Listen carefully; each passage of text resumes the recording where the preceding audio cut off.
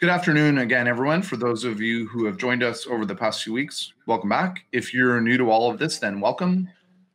Bonjour et bienvenue. Si vous avez nous joindre pour nos autres webinaires, merci. Et si c'est votre première fois, uh, très bien. On espère que vous uh, trouvez la valeur aujourd'hui. I'm uh, Mark Healy. I'm the executive director of the Ivy Academy. That's the learning and development wing of Ivy Business School here in London, Ontario. Je suis le chef d'éducation éducatif à l'école de commerce à l'Université de Western Ontario. Uh, we've been impacted like others recently. We're rebooting our own business here. Uh, we're excited to be launching some new virtual programs. We talked a little bit over this, you know, about this over the past few weeks. They're purpose built for the COVID era. Uh, those programs are now live, along with all of our tried and tested and true stuff that we've converted to virtual and to blended. Uh, we would invite you to check out our website if you're interested in more uh, details. I spent the last couple of days uh, with a power transformer that's a manufacturer in Guelph they're in remarkably good shape, all things considered. but you know, innovation for them is an open question, and I would say the last you know few months has caused them to think a bit more about innovation than they than they typically would. For now, it's the responsibility of R and D, and it reports into both marketing and operations. You, you can imagine I have lots of questions uh, about that, and they're thinking about what that structure is going to going to look like in the future, and that's frankly what we're going to talk a lot about today. We're fortunate to be joined by Ivey's own Rob Austin. Rob is uh, Rob is kind of a big deal around here, as they as they say in the movies. Robert D. Austin is a professor of information systems at Ivey Business School, an affiliate faculty member at Harvard Medical School, and also Aarhus School of Business and Social Sciences. Before his appointment at Ivey, he was a professor of innovation and digital transformation at Copenhagen, and before that, a professor of tech and operations management at Harvard.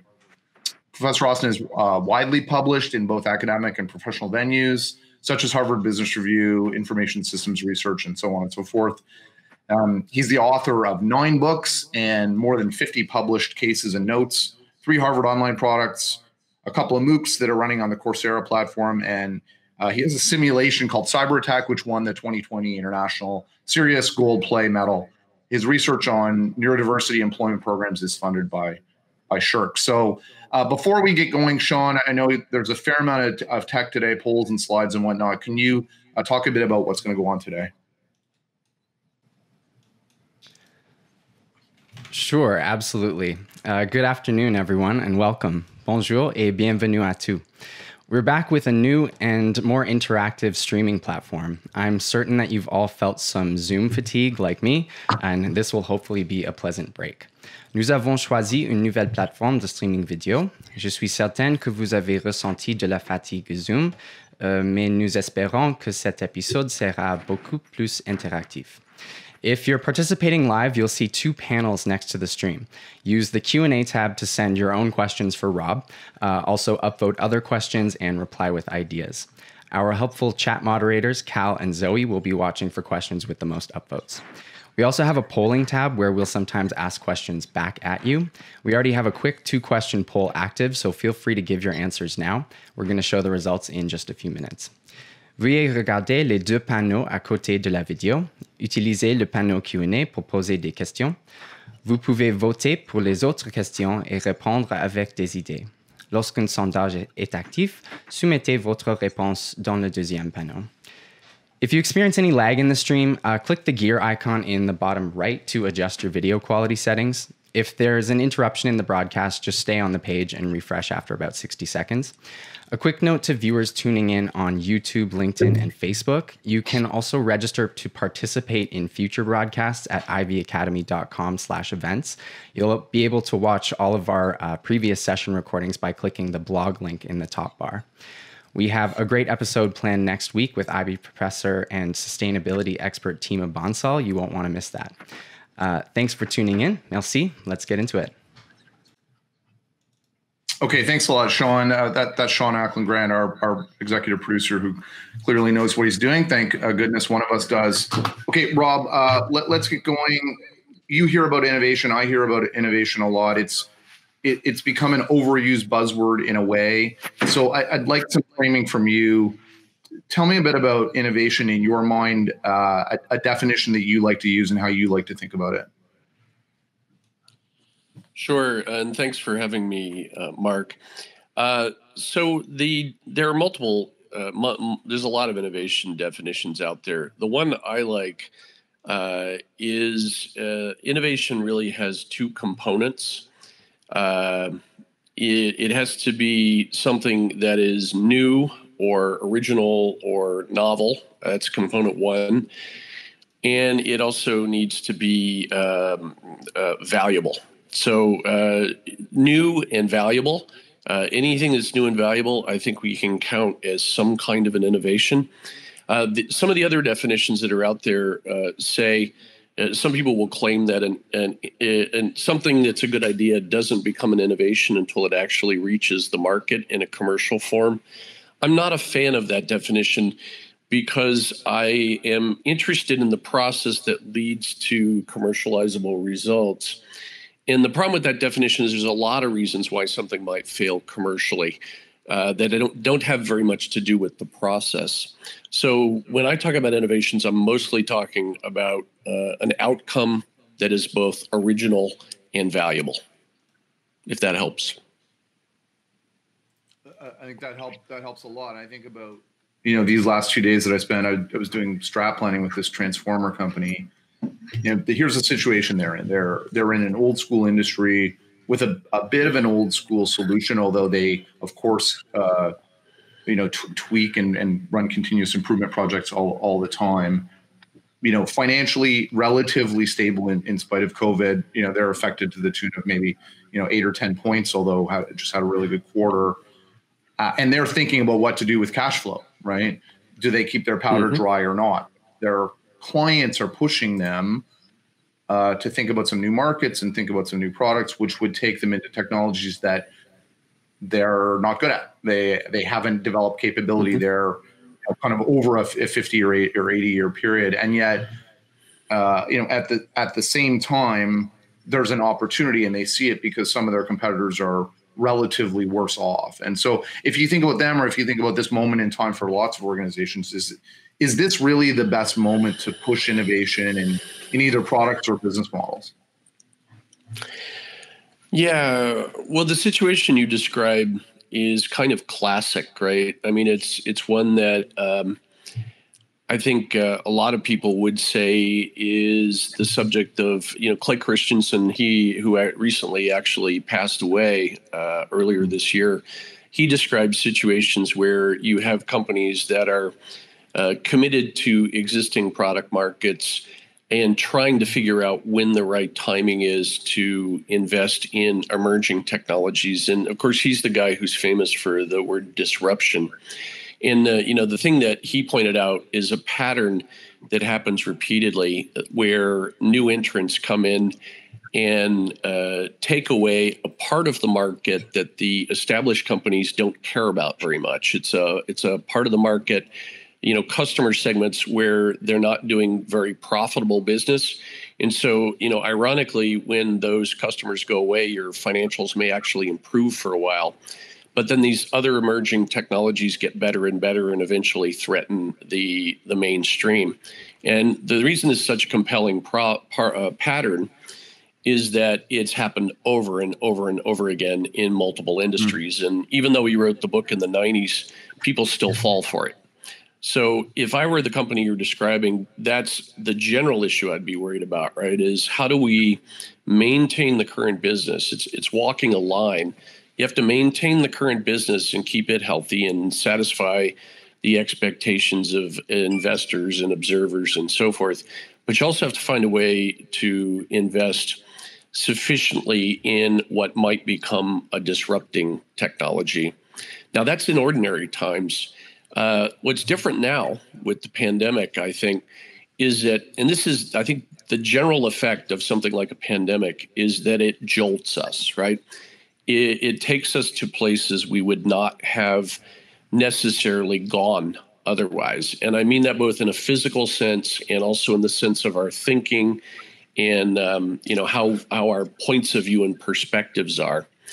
And so the particular opportunity I think arise that arises now is that we have now been forced into some things that we probably wouldn't have gone into intentionally. And there may be opportunity in that. So I don't know if now is the right time to to sink big money into emerging uh, approaches. Maybe maybe it is because people expect the short-term results to be downwardly impacted anyway, and that might give you some headroom to do some of that kind of investment. But the real point, I think, is to be opportunistic, to look for ways in the current new situation from your new perspective uh, that you might uh, see opportunity that wasn't there in normal times. I know you like to tell the the story about cornflakes and the and the story about penicillin. Are they are they germane here? Do they do they matter in this context?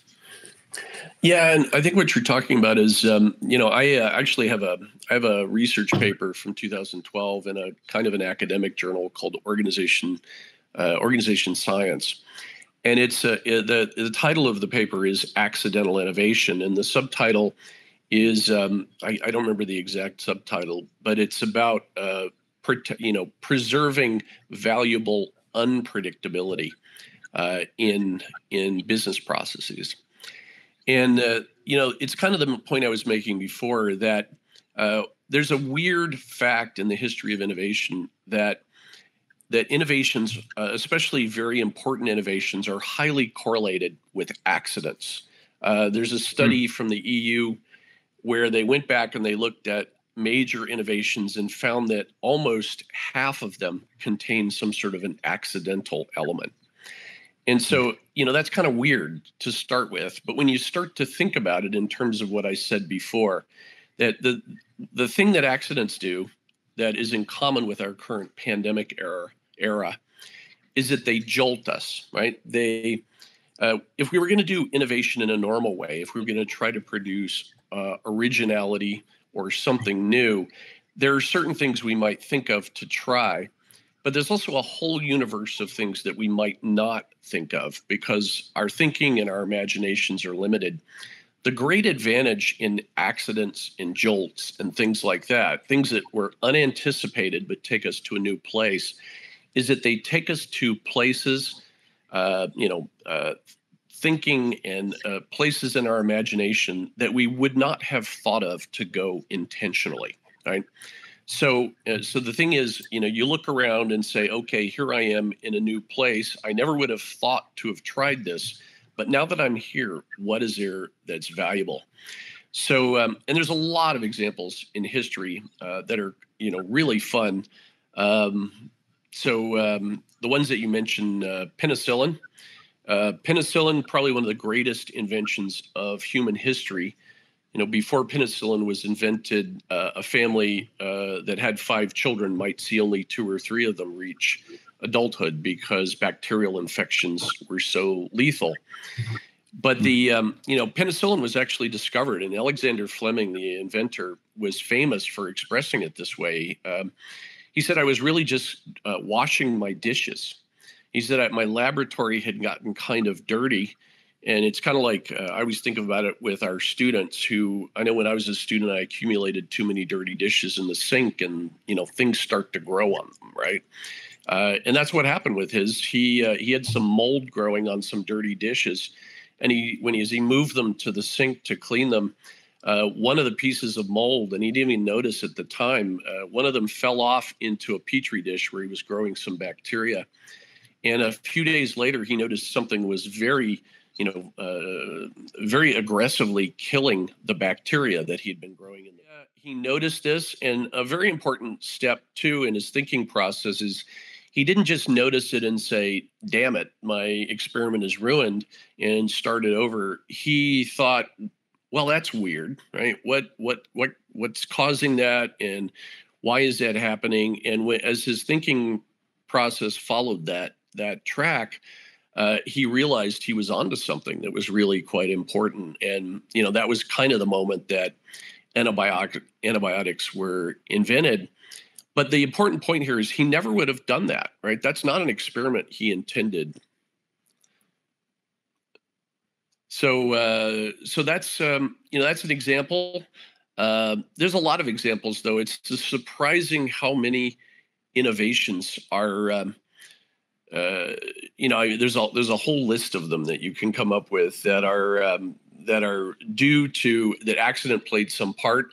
Uh, there's penicillin, there's a smallpox vaccine, there's cornflakes. Uh, you mentioned cornflakes. Cornflakes is a result of somebody forgetting to turn on a machine that was to make a corn-based porridge for at a health spa that the Kellogg brothers were running in Michigan. And uh, when he discovered he had forgotten, the worker had forgotten to turn it on the night before, he tried turning it on the morning after, and this strange sort of a cornflake came out, and you know the rest is history. So, um, I mean, another one that's kind of fun is uh, is Viagra right? So uh, it was originally supposed to be a heart medication, and it had, you know, shall we say, an interesting side effect that they were smart enough to notice and realize that there was value in. So all of these things jolt us that we wouldn't have tried to go uh, by ourselves intentionally. I mean, it strikes me that your your mind has to be open enough to observe and take in what's going on as opposed to being so focused on the problem you're trying to solve where you would kind of almost push that out of a way as an outlier or a problem or an issue yeah no that's a huge uh, and a, a very insightful observation uh, there's a, a two-stage model that uh, sometimes researchers use when they think about innovation it's originally due to a guy named don campbell in the 1960s and he described uh, innovation as a process of first creating something original. And he related it to Darwinian evolution. He said, first, you have to have variation. But then the second stage, and this is the one that you were just talking about that's often overlooked, is you can create a whole lot of original stuff but you may not realize what you've got, right? There's a second stage where you have to look at what you've created and sort apart the things that look valuable, which are likely to be a relatively small subset, from the things that are you know not valuable and not worth pursuing. Uh, and so you know what you point out is you know as Fleming didn't just um, go uh, damn it uh, and restart his experiment. He connected the dots. Um, uh, the the Kellogg brothers looked at the cornflake and said that actually looks interesting, and let's try eating it, and it's pretty good. Uh, the guys who created Viagra didn't say, well, you know, that's not a good heart medication. Let's just toss it. They noticed the side effect and decided to follow up on that. So that 2nd mm stage is really important. And honestly, humans and organizations can uh, tend to be pretty lousy at both. Uh, they're pretty lousy at coming up with original ideas because we tend to get set in our ways and produce things. The new things tend to be a lot like the old things we've produced. And in the yeah. second stage, the things we see value in tend to be a, a, lot like the things we've seen value in in the past, right? So we have a real problem recognizing unfamiliar forms of value. I, think that's a good bridge to where we want to go next. I know you you talk a lot, you teach on this idea that innovation is kind of hard. Innovation tends to be difficult, especially at an organizational level. And you know, if you think about you know leaders, uh, especially right now, how how can leaders be encouraging innovation? How can they be getting teams to be thinking about an innovative kind of productive mindset with with some of the kind of barriers and challenges that you you see a lot of yeah i think it is just to follow up from what i was talking about before one thing that i think is useful and that i often recommend to managers is that they think of both of those two stages uh, separately so uh, mm-hmm. you know question number one is what can you do as a manager to help your employees and to help yourself even create new and more original ideas right? And and some of that has to do with you know uh, there may be brainstorming techniques. There may be ways of unanchoring from your past business. Uh, at boeing uh, they use an idea that they call an approach they call the seven ways and what they mean is they don't, when somebody's trying to solve a problem, they don't let you get away with just one or two ideas. They insist on seven.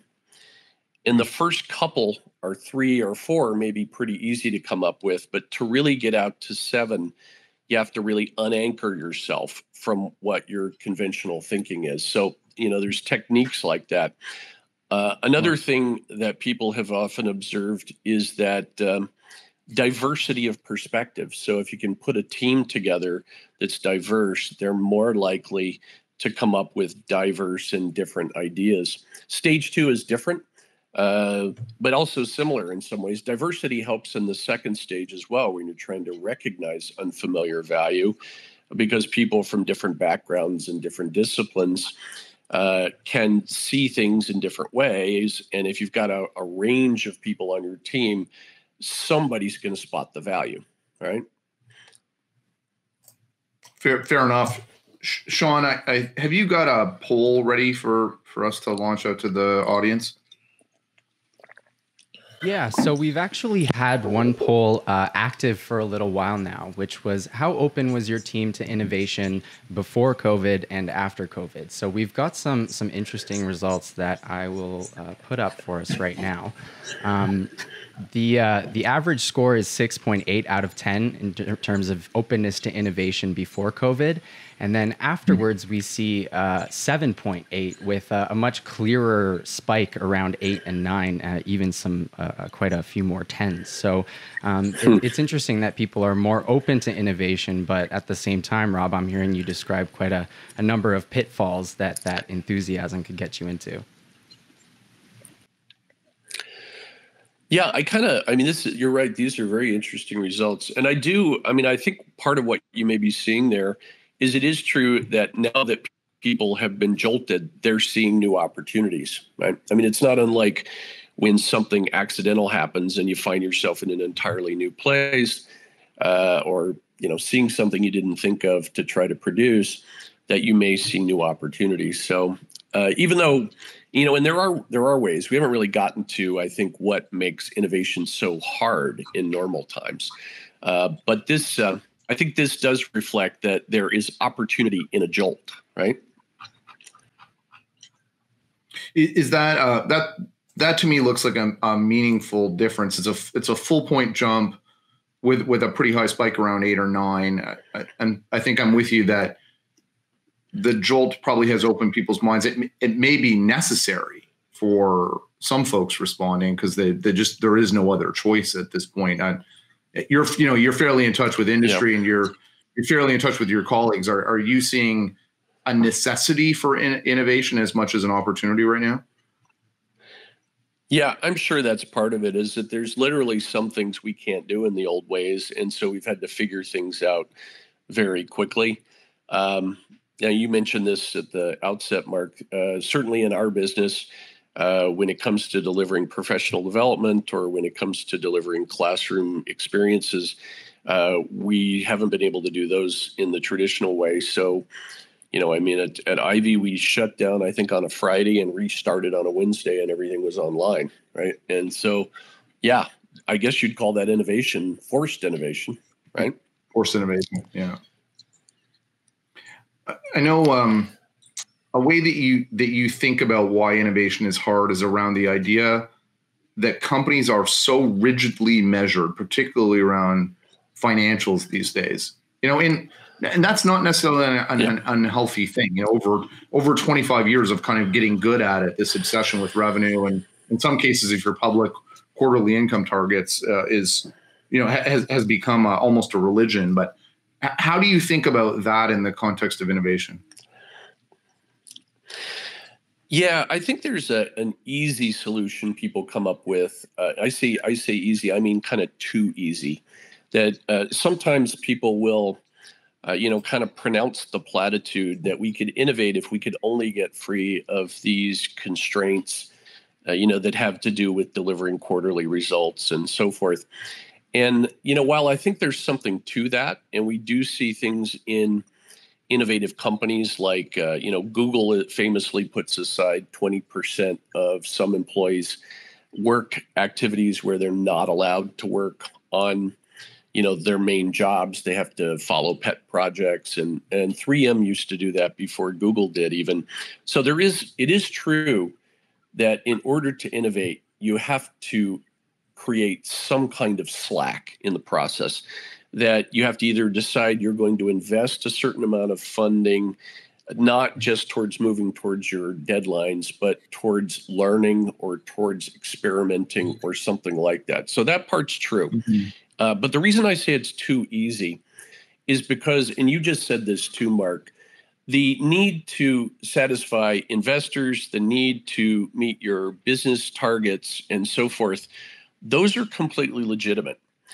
And even more than that, uh, it, you have to realize one of the reasons that innovation is hard is because many of the things that you would do to produce original outcomes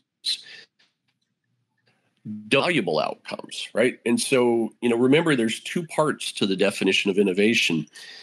It's it has to be original and it has to be valuable. And the truth is yeah. often in innovation processes or you know if you're going to, even if you're going to have an accident, most accidents are not helpful, right? So even though when we look at the set of great innovations and we see accident happening in correlation with them, there's many, many more accidents that are not helpful, right? And a manager can't run around his organization just strewing accidents about, right? Uh, you have to um, you have to innovate, but you also have to not burn the place down, right? You also have to not uh, yeah. you know, not miss your your your quarterly targets. So um, there's a, there's an exercise that I like to propose when I talk about this. I don't know if this is the time to go into it, but I I um, I can unfold that a little bit if if you think it's a good yeah, time. a good time. It is, yeah. Yes. Yeah. So what, I often do this with executives. I say, okay, so you know we've decided that we have to allow room for variation. And, you know, usually we've been talking about accidental innovation at that point, and that, you know, the fact that it is true that innovation is fueled by variation. Whereas we have a whole bunch of systems in business we use to try to reduce variation in business processes. So, for example, at 3M, uh, uh, they uh, this is uh, under uh, McNerney when he was CEO there. He was from GE, and he brought Six Sigma with him. And as you know, GE is really big into Six Sigma. And McNerney mm-hmm. put Six Sigma in place throughout 3M, one of the most innovative companies in the world at that time. But when he put it in place in the um, you know in the product development organization he drove down variation because that's what Six Sigma is all about. But he drove out good variation as well as bad variation, and they had trouble innovating after that, and they really haven't made it all the way back. I think uh, since then. Uh, so the you know the exercise I like to you know we've been talking about that in in um, I like to propose the following exercise. So I say everybody, we could try it here now if you like. Everybody who's out there listening, uh, you know, grab your cell phone, say, and pick up your cell phone. And I'm going to tell you what we're going to do before we do it. So uh, I'm going to count to three. So I'm going to say one, two, three.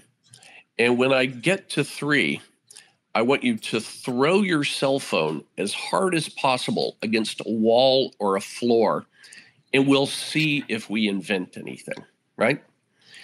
And um, and, and so, of course, uh, I'm, I'm hoping that no one out there has actually done that. And, uh, you know, I've never had anyone actually follow through on this exercise in class.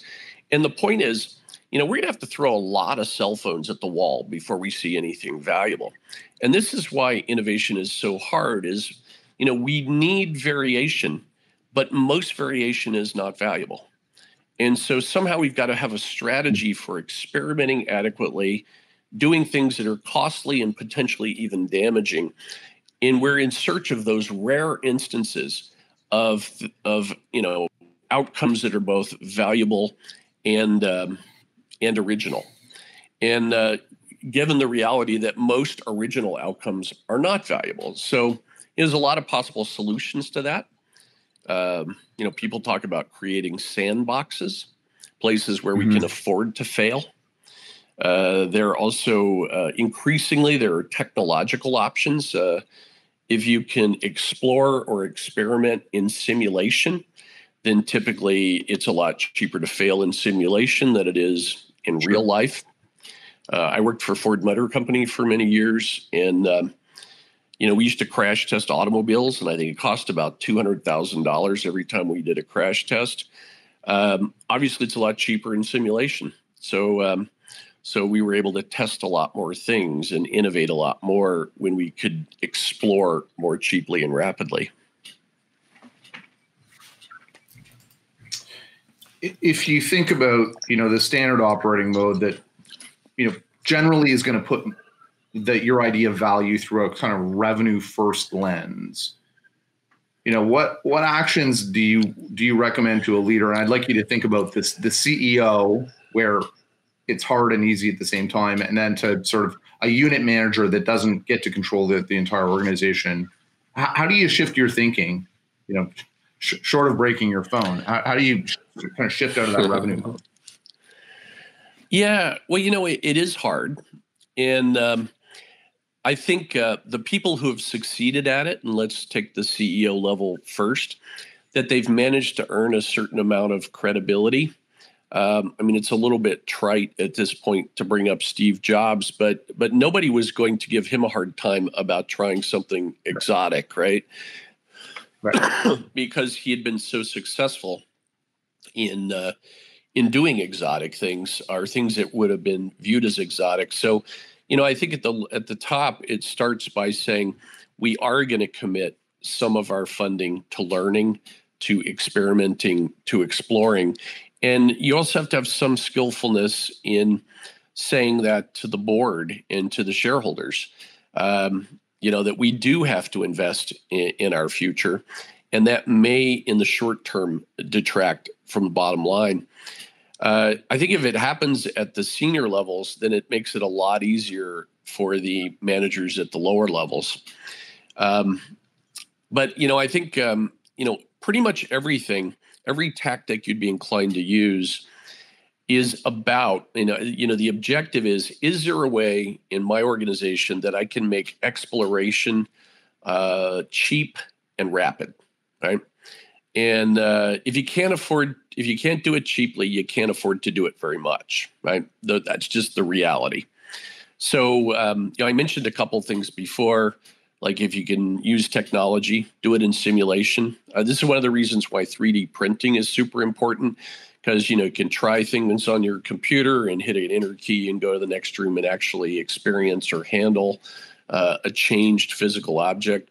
But I mean, the idea is to get these iterative cycles going in your in your business, um, and I think more you know more generally to you know a lot of things that we have traditionally done in a very sequential planning based mode because we couldn't afford not to do it right the first time or almost the first time.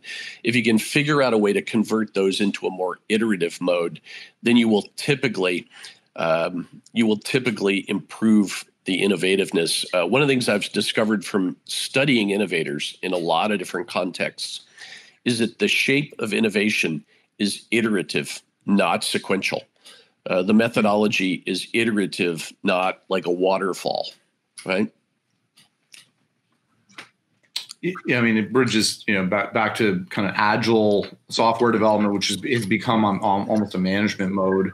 I, I, know we wanted to take some audience questions, so I'll I'll tee up Sean in a minute. But in my you know in my consulting life, a question I get a lot is shouldn't shouldn't we just performance manage and pay people and there are pluses and minuses to that, but the, my view is there are more pluses than minuses. If if you make it an objective, you know, even even if it even if it's not significant, a manager will generally pay attention to it. And if part of their incentive pay is tied to that, right, and they and they are managed to it, or there are discussions about that that happen more than once a year, they'll pay attention to it too.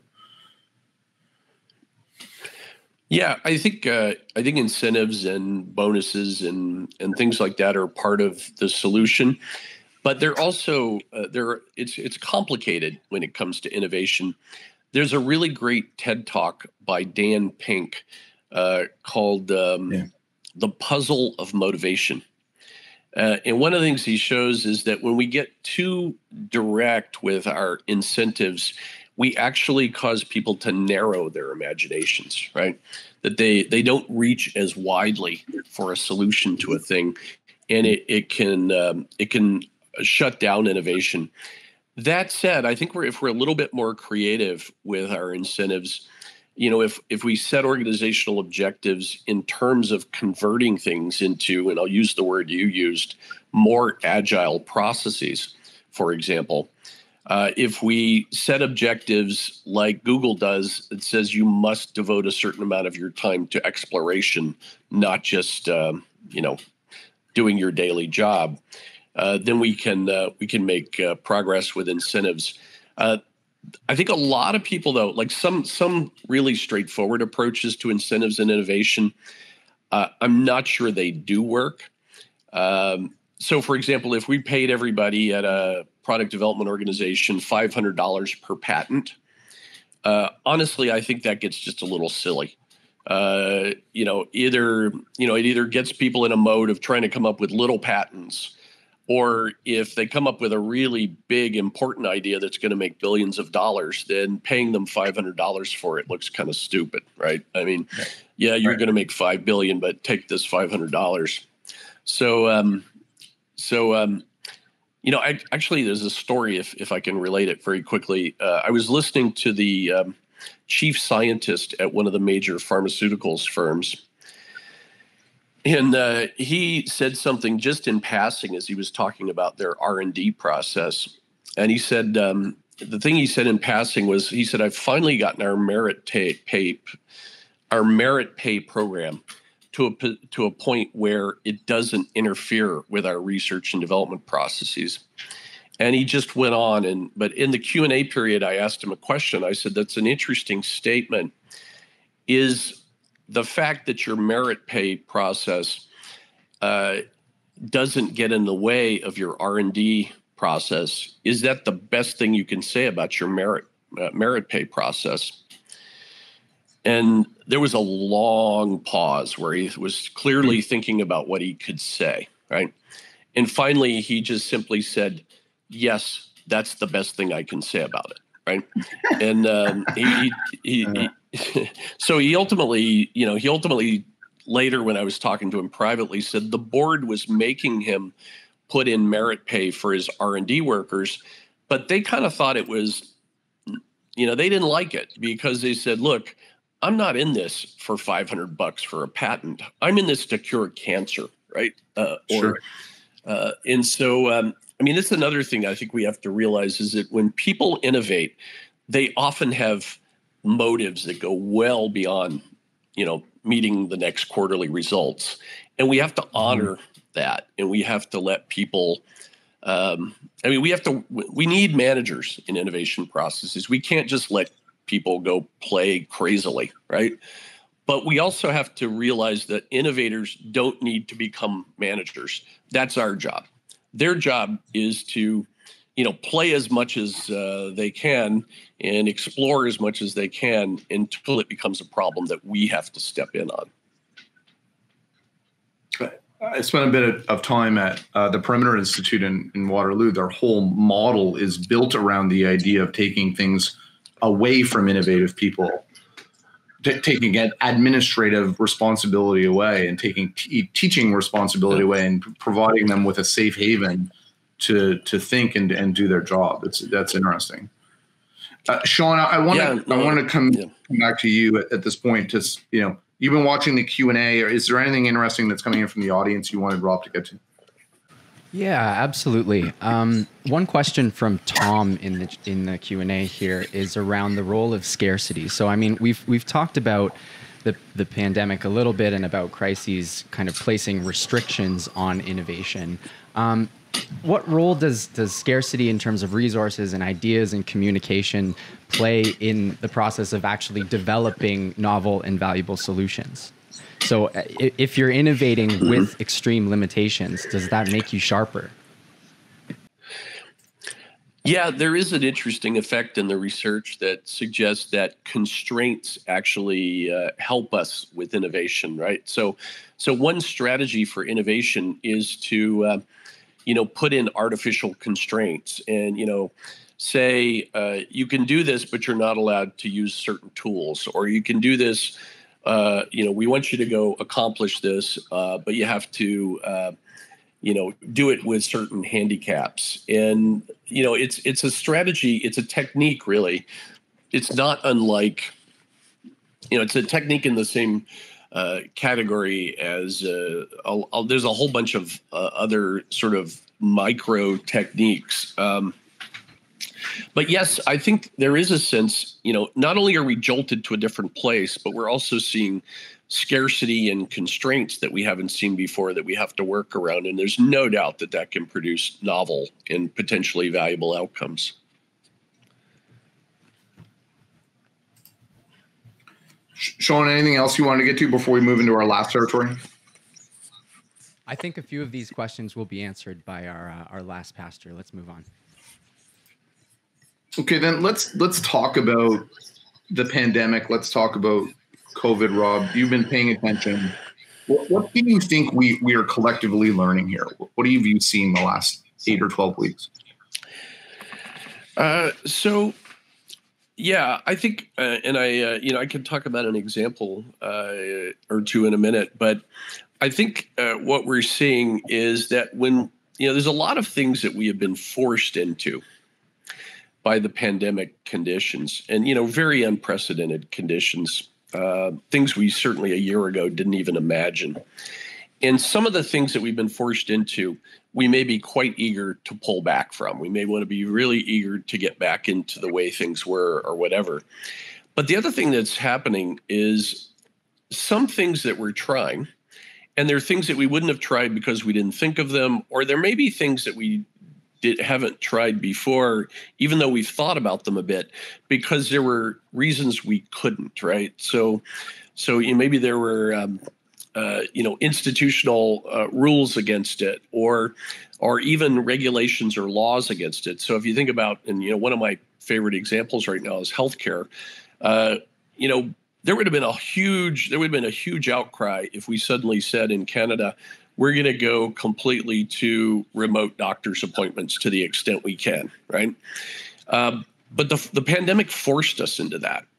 And the thing that we discover, I think, and that's, you know, in that case, it works better than we might have thought it did, right? And and so, you know, I would urge every organization to kind of go through a process where they say, you know, what are the things we've been forced into? Which of them are in the category of things we don't want to continue once things kind of get more normal? But what are more importantly even what are the things that we have now discovered are actually um, you know even more doable than we thought? Uh, one that people bring up a lot is you know we're working remotely.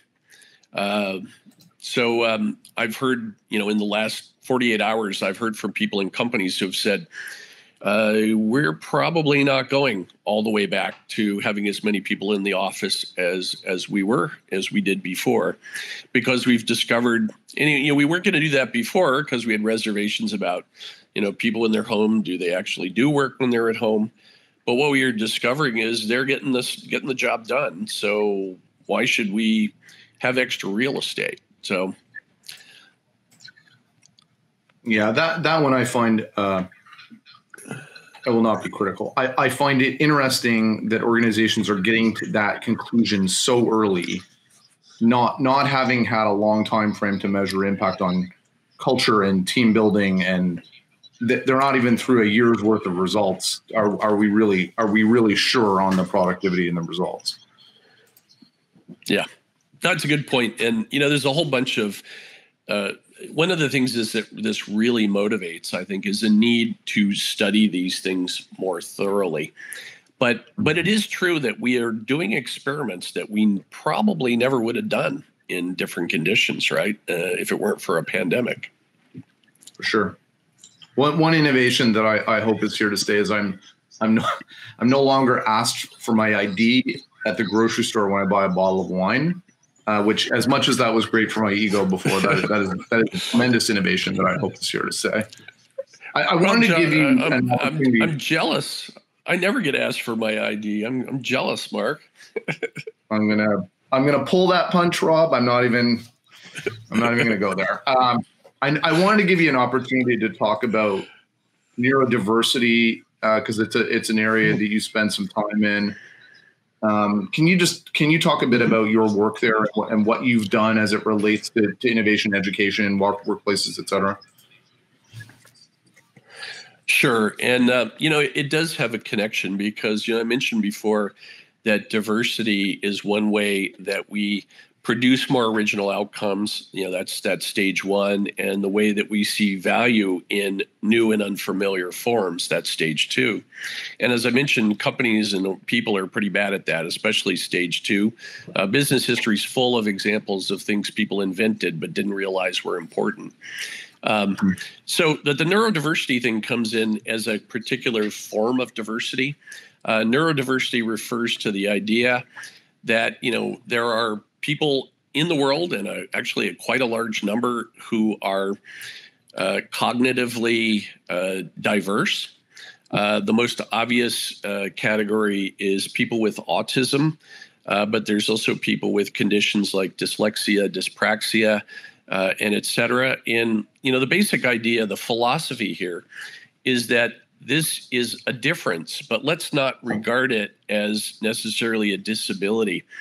Uh, it is a way of uh, approaching things that might reveal new sources of value. So, you know, there's research that suggests that people with autism and dyslexia have superior pattern recognition capabilities, or not all of them, but some of them may. And so, um, you know, there's a there's been a whole movement that started back in 2004 when a small Danish company um, uh, called Specialisterne uh, it's it means the specialists in Danish. Their founder Thorkil Sonne had a his third child was diagnosed with autism, and uh, he started a company to employ people on the autism spectrum. And now uh, Microsoft, SAP, Hewlett Packard, uh, EY, uh, Ford, uh, JP Morgan Chase, and many, many others all have programs like this. Um, hmm. and they're discovering, you know, they're not just, it's not just about, it's partly about tapping talent in areas where they can't satisfy demand for that talent. So, like business analytics, cybersecurity, uh, some jobs are going unfilled in those areas. And so it makes sense to tap new talent pools. But to get back to our topic today, they're discovering that this is also turning out to be a source of innovation because people are bringing new perspectives into the conversation. Um, you know, people who see things in different ways because they're, you know, you you could say it metaphorically that they're actually wired differently uh, in their brains, and it, it turns out, you know, what we might have thought about as a disability is actually a, you know, and sometimes people will call them superpowers, right? That there's uh, something to be offered. Um, hmm you know, it's, it's a different ability, but it's an amazing ability in some instances. We're, um, we're coming up on. Yeah, you know, are there? You, have talked about some pretty big organizations that that have employed this. Are, are there examples of, of innovations or products that, that have sort of come out of those programs? Yeah, uh, I've written a number of cases about these um, these programs, and so uh, you know some of them are process innovations. Uh, EY tells a very interesting story where their first class of people in their program, which was four people in the Philadelphia office, uh, in their first week they noticed some problems with some of the training materials and the training processes that no one else had ever brought to anyone's attention and um, and then they proceeded to rewrite the materials. And in their first two weeks, they um, you know they created materials that uh, EY reckons I think the number was about 25 million in savings.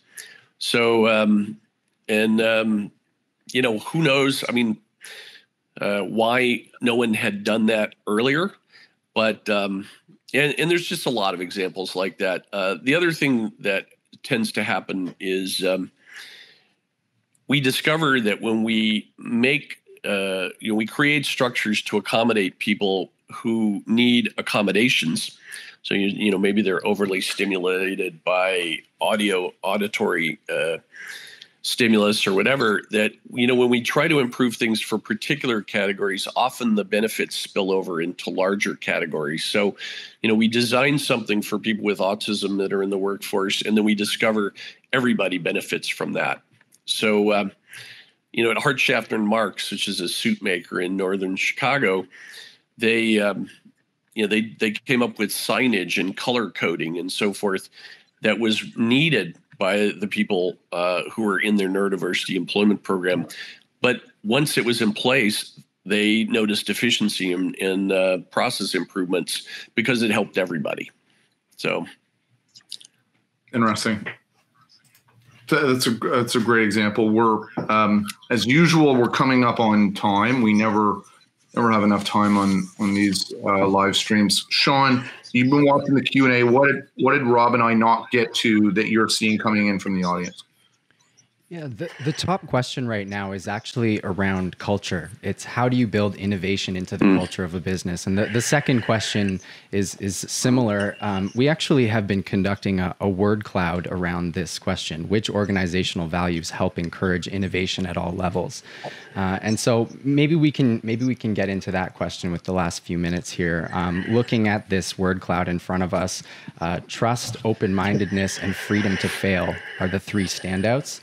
So, what would you say? How, does that mm-hmm. translate to culture, Rob? Yeah, I think uh, I think those are excellent uh, contributions by the folks out there. Um, I think the tough one there, uh, you know, they're all a little bit tough, but I think the really tough one is the freedom to fail. Um, and um, you know the freedom to fail the reason we have trouble with freedom to fail it's back to my cell phone exercise right is because it's expensive to fail. And um, and so uh, a lot of it has to do with you know somehow we have to um, you know there's two two possible approaches. We can make it cheaper to fail and i've talked about that one a good bit but we can also make it clear uh, uh, you know in the culture of an organization that we can create a culture where uh, failure is valued. I um, it's not easy though. I mean, I've uh, I have heard of organizations where when they had failures, you know, they tried something, it failed. Uh, they would have a particular company that I have in mind. They would go out into the parking lot uh, outside the headquarters building, and they would take all the documentation associated, or at least some of the documentation. They'd probably keep some copies, and they would throw it in a big pile, and they would uh, ceremonially burn the documentation, right? And then uh, celebrate and have a little bit of a, you know, we just learned something party. Um, I don't know. That seems a little bit uh, over the top to me, but I do think. Um, you know, if we can figure out ways to, and there are cultures like this. I mean, at certain design firms manage to uh, keep innovation going uh, very much at the same in the same in the culture of the organization. IDEO is often cited. Uh, one of the things that comes from my own research is let's get over the idea that we have to resolve the tension between innovation or uh, you know when they, whenever conflict appears between innovation or you know impulses to try something new and you know worries about the bottom line let's get over the idea that we should resolve that tension in what favor of one direction or another. And let's just create a culture where we maintain that tension and know that we're going to have to have that conversation over and over again. Um, this paper that I'm talking about is we talk about it in terms of a, you know, the economic and the creative have a conversation uh, that hmm. um, uh, in, that is ongoing. That's not one that ever resolves itself completely, and that's a delicate balance. Um, Dick Nolan and I wrote a paper very many years ago called the um, you know, the, it was about balancing the influence of stewards and creators. And stewards are kind of like managers. We call them stewards because their primary motivation is to uh, is to watch carefully after the shareholders' money and not spend a dollar past the break-even point. Uh, and then we said, on the other hand, we have creators who don't even know where the break-even point is, but they, um, you know, they very much want to solve world hunger or or something like that, or, or cure cancer from my earlier example. And, uh, you know, we talked about bridging personalities, uh, people who understand both camps. Uh, Eric Schmidt, who was the chairman of Alphabet slash Google, uh, I had the pleasure of working for Eric uh, a few years ago, uh, pretty directly in a sort of a startup venture. And one of the things he was able to accomplish when he was the CEO of Novell is that he had credibility on the business side, you know, uh, but he also had credibility on the engineer side. And at the time, the Novell needed to realize that their proprietary networking standard called IPX was never going to win over the open standard IP, even though the engineers could show, you know, 20 ways that that IPX was better than IP. That it's just that battle was over. And because Eric could probably write a compiler over the weekend if he wanted to, he had that those tech chops.